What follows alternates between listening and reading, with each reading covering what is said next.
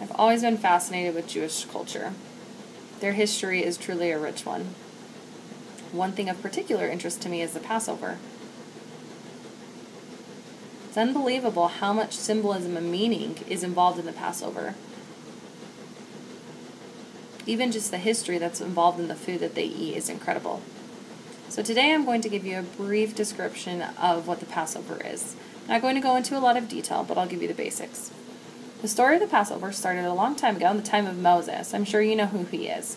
He was the famous leader who helped the Jews escape from Egypt. At that time, Moses approached the Pharaoh ten separate times. On ten different occasions, the Pharaoh told him no, he would not allow his people to go as Moses had requested. So the final time, Moses warned the king that if he did not allow the people to be free, that the firstborn son of every family living in Egypt would die, and that also the firstborn of every animal family would die as well. Of course, Pharaoh did not believe him and refused to let the people go.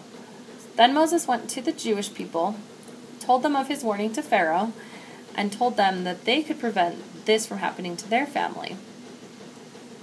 The only thing that they would need to do would to be slay the to slay a lamb and take the blood of the lamb and put it along their door. As they put it around their door, they would be saved. And this is what happened. All the other Egyptians had the firstborn sons die, but the Jewish people